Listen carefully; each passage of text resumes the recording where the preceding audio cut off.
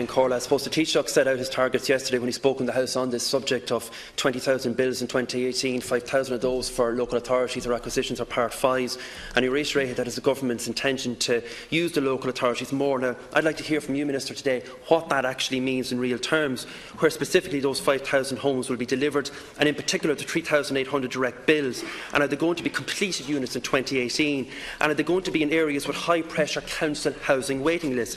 Because I look at my own county of Meath with a population of some 200,000, a commuter belt county that has huge housing, social and employment pressures, and they've got to 5,000 people on the housing waiting list, 1,500 of those in my own hometown.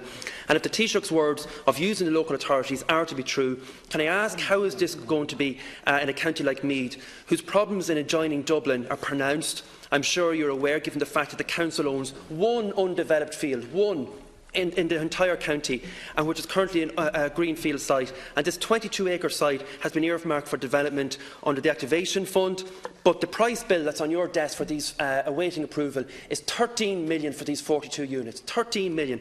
So it's working at 310,000 euro per unit a good 100,000 uh, above what it should be because the reimbursement to the council for the site acquisition is factored into this. Now, this has taken over a decade to get here. We're not there yet. And when we do, it comes with a price tag of 13 million. So my point is, if this is a prime example of what's happening in commuter counties like Meath, for a mere 42 homes, how realistic is a 3,800 target nationwide? And secondly, and this is the critical point, how is the department helping counties like Meath, Kildare and Wicklow in actually acquiring land? Because the very basic commodity you need to provide homes is, and it seems to be forgotten in this chamber by many people, is the basic commodity of land in locations where people actually want to live beside schools, amenities and shops.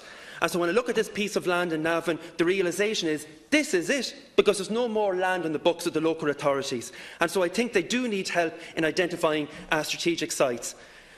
And finally, Cathaoirleach, conscious that this is a Sinn Féin motion, and remarks were made last Thursday about tax, and that tax should not be reduced, according to Sinn Féin, Uh, you know, that is quite a statement, considering every Sinn Féin councillor in the country has sought to reduce property tax in councils by 15% year on year and remove millions from councils where this money would be spent on housing.